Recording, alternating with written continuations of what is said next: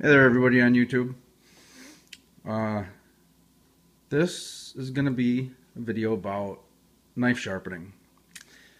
Um, what it is, is I'm not here to show off my knives or anything because that's just not, you know, I, I like knives and everything, but it, my nephew, he had this church that his grandpa used to have given back to them with some property. And it's for a fundraiser for what the church needs for this next year and everything for the late weeding it and everything. So they've been trying to figure out how to get money to do that so they can keep it. And so I decided, because I can sharpen knives, that maybe some people would like to have their knives sharpened. And so I wanted to show everybody my knives first and that I've sharpened all these so I wouldn't do anything to somebody else's knife that I wouldn't do to my own. Because I have some knives that are worth some money too. And I know how it is with uh, custom knives. I mean, they're art. You're, you know, it's people say that you're crazy spending money on knives, but when people buy art, they don't seem to think anything of it. Well, it's just a lot more talent goes into or a lot more mechanical talent with your hands building this stuff goes into knives i think for me anyways than uh, painting.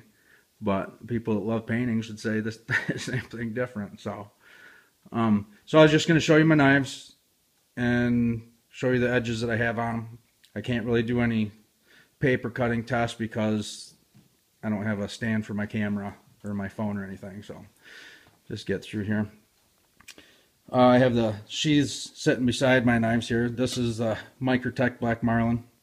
I have not put an edge on here yet. I have a, it's a, actually a fake Edge Pro that I had given to me.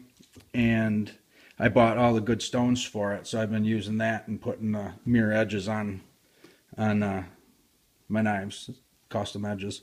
This was an old one that my grandpa had, um, an old Western made in Boulder, Colorado my camera is probably not even gonna show you the edges on these really but they're they're not total mirror they're pretty close. The I have an 8000 grit Shapton stone that is my finishing stone right now. I want to get a 16000 grit to finish them up to a higher polish and probably get some of the diamond paste or spray to strop stuff too but this is my Jeff White. This is a convex blade. Um, bushcraft knife.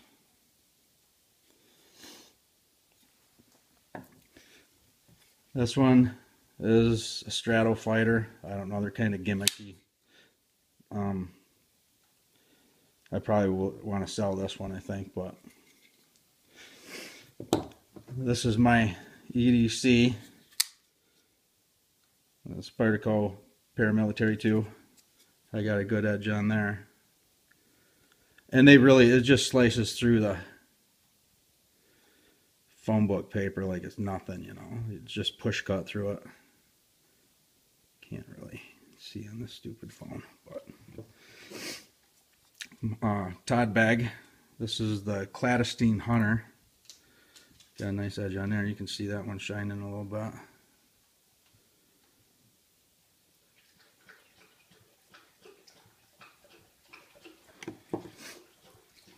I have not put a edge on this yet either.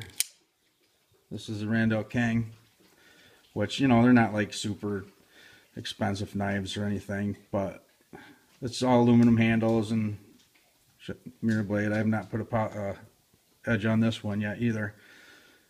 And uh, so that one will be coming up. Um, got the Leatherman Charge, titanium, the S30V. Put an edge on that. All these things are really, really sharp. Emerson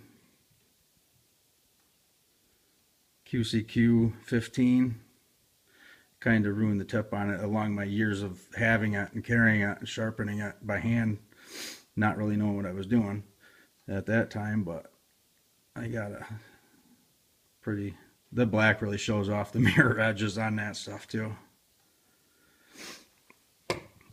Just a uh, Kershaw bump or the speed bump, I think, or something that was called at the time. Just uh, orange knife made in China that my daughters bought me at one time when they were younger. Uh, this is a Boker top lock. This thing just seems to take an edge so easy. It just gets just scary, scary sharp.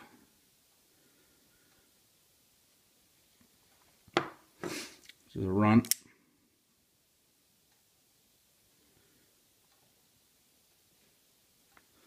So I can, uh, you know, I can sharpen knives for people. I'm thinking this one I haven't put an edge on it yet, so I haven't got to all my knives yet, but old timer, or this is Schrade, old timer Schrade. That one gets really sharp too, but I haven't put an edge on that or this one. This is just a Japan steel knife. So Microtech Kirihei. Uh, this was going to be the one that I was going to do today, but I haven't did it yet. But this is really sharp anyways. We'll get that crappy edge that's on there fixed though. But it takes a long time to do these edges. uh, like this buck. Uh, kind of hard with one hand. This buck 110 I timed doing this yesterday and just reprofiled the blade a little bit. Well, actually, I kind of just followed. I switched it a little bit, but do like a 19 degree bevel on it.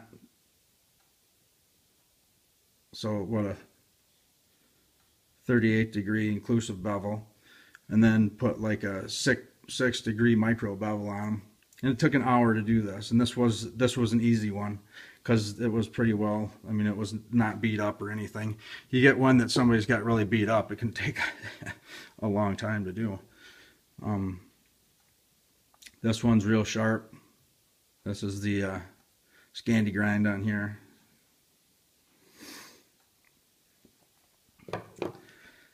And then this one I haven't done yet either. This is my Bill Kofi custom flipper and this thing is just butter smooth too you don't even have to hardly push that um got the Damascus bolster carbon fiber jeweled titanium liners carved titanium backspacer on it high polish blade but what I uh, what I'm going to do with these knives and I'll probably do a video sharpening this one um, I don't like using that blue tape that, uh, you know, put on the blades so they don't get marked up. And, you know, it gets wet from using the stones and everything, and it just, it, it's a mess. And I want to really protect somebody's knife because if they send me their knife like that one with a high polished blade on it, I want to make sure there's going to be no marks on it. So you can get this, like this plastic dip that you would like dip your handle, your channel locks in and pull it out and let it dry. I'm going to try that with uh, them knives that I have with the polished blades. I'm going to dip the whole blade in that plastic dip like that and I'll let them dry and then I'll just cut off right on the edge of the bevel where I'm going to be doing the work. And then when I'm all done with the knife, then I will take all the plastic off of the blade and it should be like brand new. Just like how you get them tool bits and carbide tip bits and stuff that are plastic dipped when you get them. So be no different really. So I just wanted to put that out there. So if somebody sent me their knife, they can trust me that I'm going to treat it like my own knife better than I treat my own knife because I don't want anything to happen to somebody else's knife. So uh, I can put a killer edge on them for you, a mirror, mirror, mirror polish. I'm going to be getting some new, some new stones. Uh, I want to get a full set of the Shaptons for it because they are a really sweet uh, stone. They don't make hardly any mess, no slurry. You don't have to soak them. You just wet them down just a little bit, and they cut like they cut good at that six thousand or it's a yeah I have a six thousand. I don't know if I said eight thousand before now, but it's a six thousand grit. That's my highest one right now. And for that, that really cuts nice just for that high of a grit. So, um, just trying to raise some money for the Church of the Three Crosses. That's what the name of that place is. So, thank you much, and maybe I'll be sharpening some of your guys' knives. Thanks.